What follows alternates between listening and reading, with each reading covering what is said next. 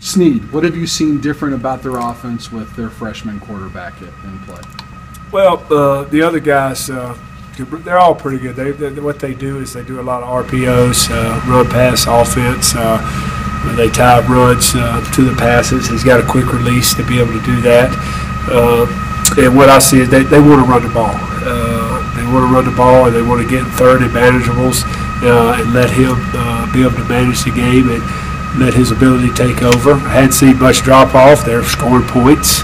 Uh, and I thought he played, you know, real well last week. They brought the other kid in uh, and played a series, but they seemed to move the ball a little bit better with Sneed in there. So I see a guy that's the offense is functioning well with it when he's in there, and he can do a lot of things. The way that you handled Myers on the second half, does that give you confidence that you can kind of keep this kid in check?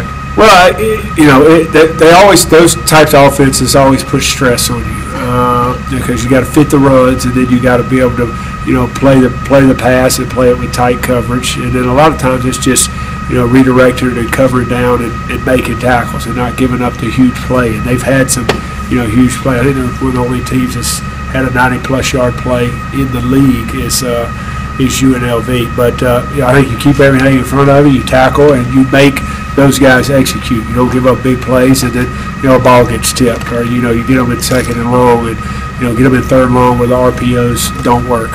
What kind of years Kevin Davis had, had, and what does he mean to this? Uh, he's had an outstanding year. Uh, he's been consistent every every single week. He's been consistent in his in his practice, uh, and he means to his team. It, to me, he, he shows what it's how you're supposed to practice, how you're supposed to play with a level of consistency every day. He comes out and does his job. He takes coaching.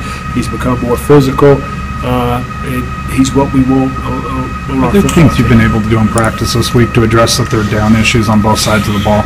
Well, we do, we did third, we do third, we do extra third downs, and we do ones on ones and ones on twos today, uh, more than we've done in the past. Uh, and, you know, we talk about the execution and understanding. We've, we've studied more third downs, uh, offensively and defensively, you know, trying to get a better understanding of what try, people are trying to do, uh, trying to, this is how we're going to attack it and limit our package a little bit, you know, so that we don't have so many options at third down. We're going to run these plays and this answer for this, it's an answer for that, it's an answer for that, and hope our guys understand it. Now they can go play.